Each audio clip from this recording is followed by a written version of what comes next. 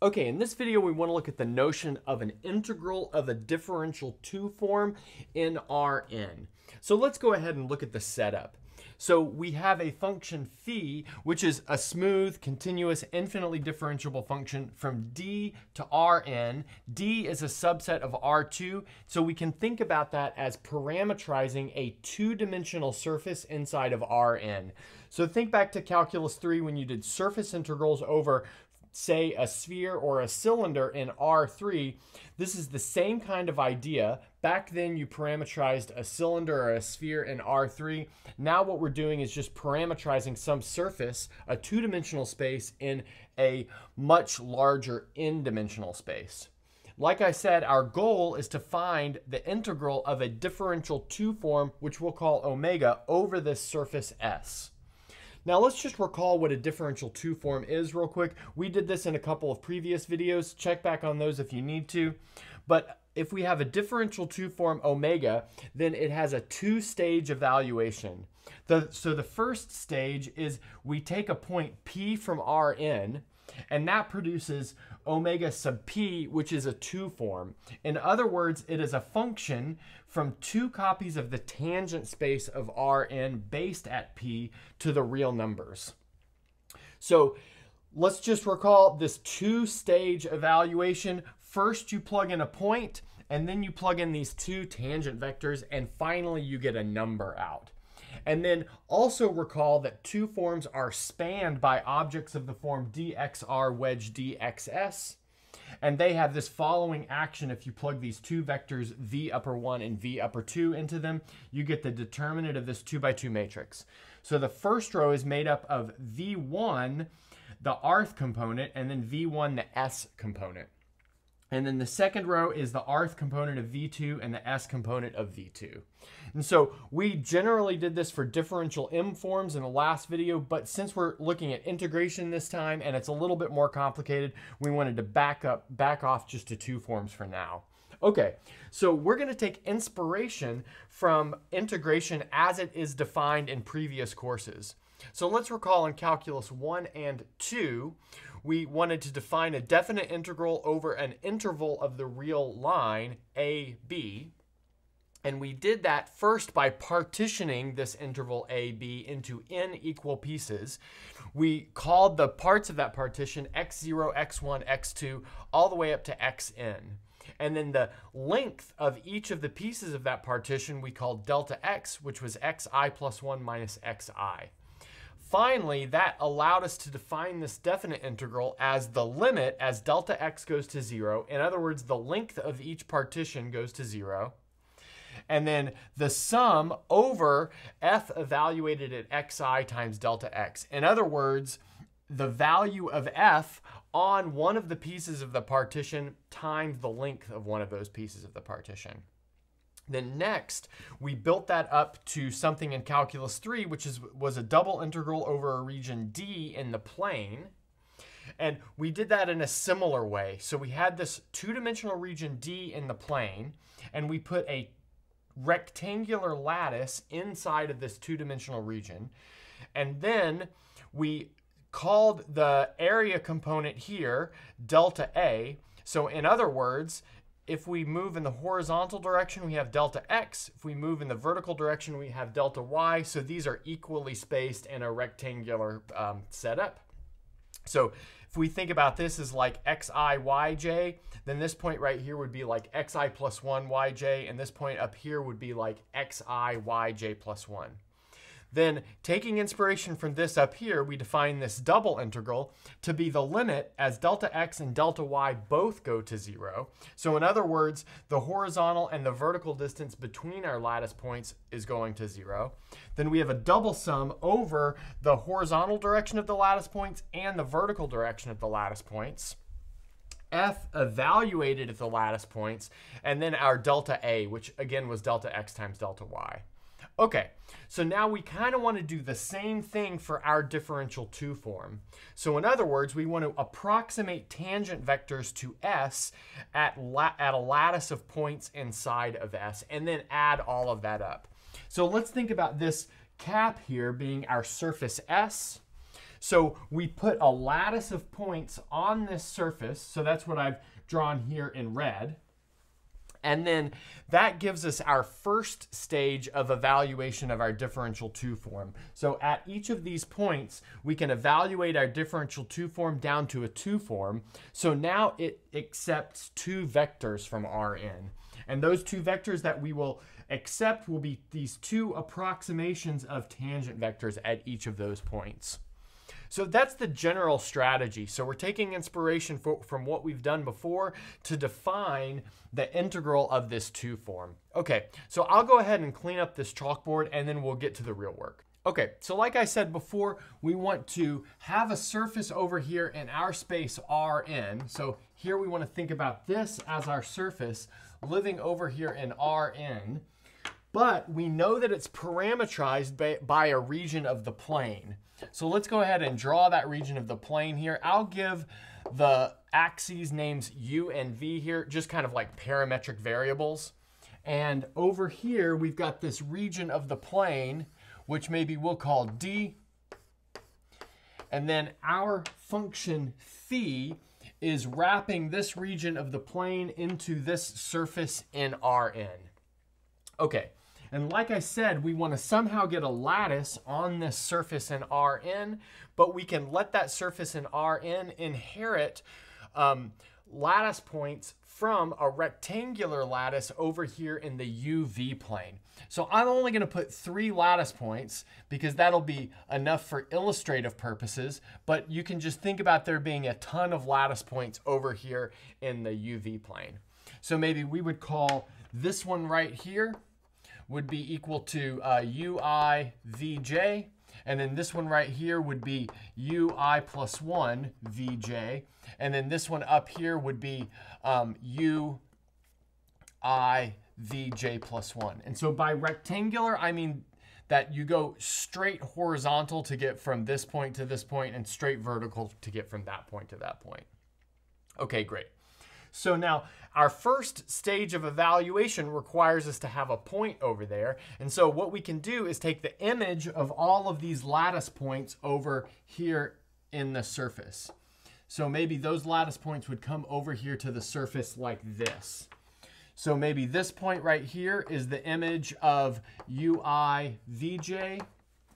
Maybe this point right here is the image of ui plus 1 vj, and this point right here is the image of ui vj plus 1.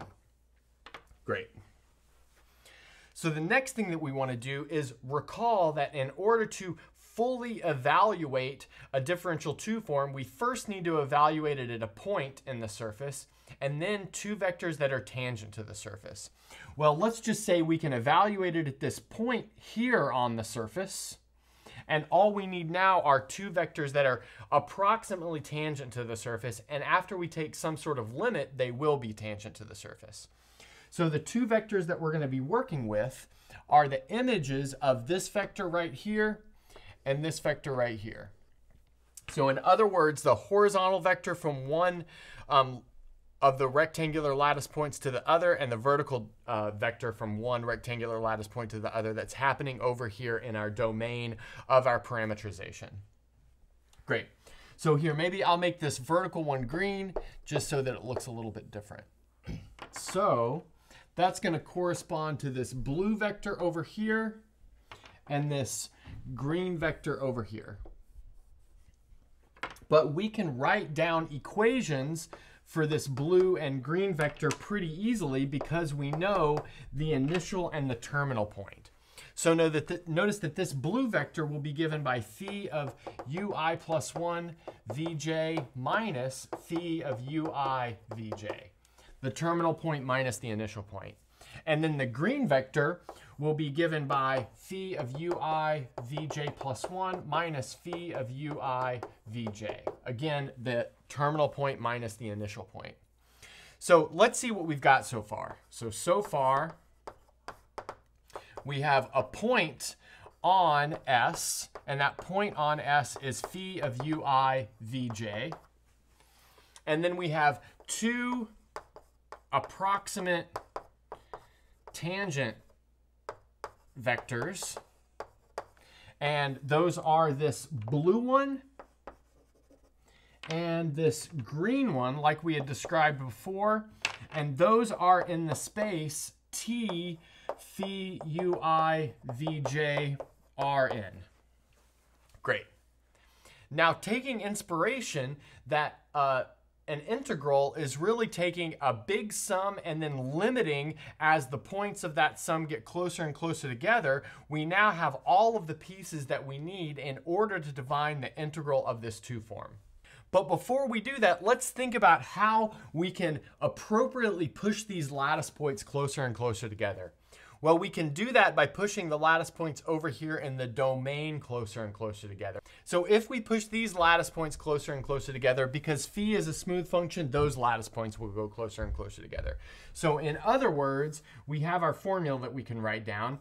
So the integral over the surface S of omega will be equal to the limit as delta U and delta V both tend towards zero. And I should maybe point out what delta U and delta V are real quick. So delta U will be the distance of this horizontal vector, and delta V will be the distance of this vertical vector. So we can think about having equally spaced lattice points here. And now we'll take the sum over all i and j of omega evaluated at phi of xi, yj. So that is our first stage of evaluation from a differential two form down to a two form. And now we want to put in this blue vector and this green vector.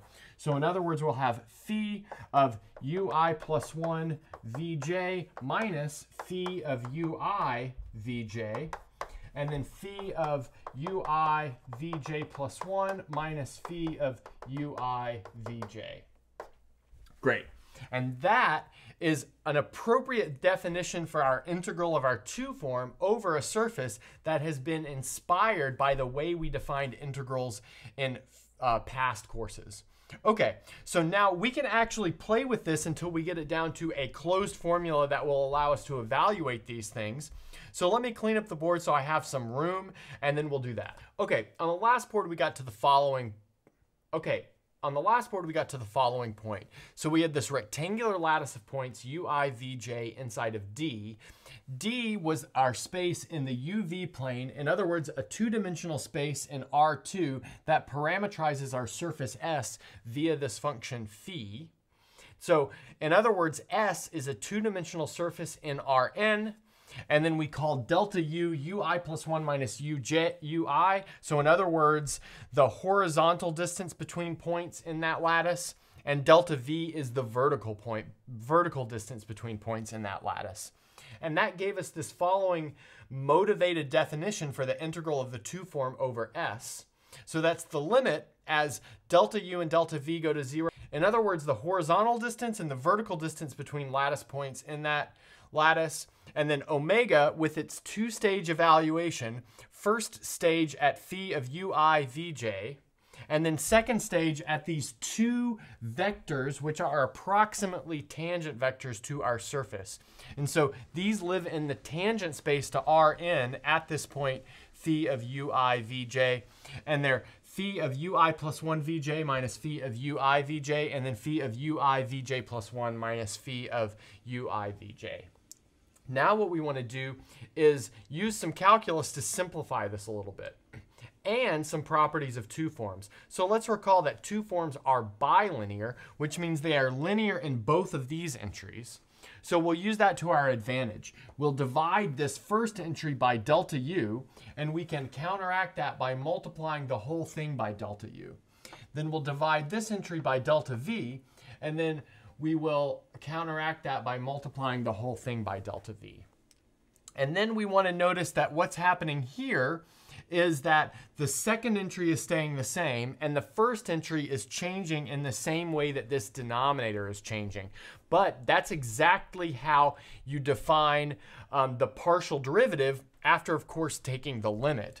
So as this limit is occurring right here, delta u going to zero, this thing is actually approaching the partial of u, phi with respect to u evaluated at ui vj.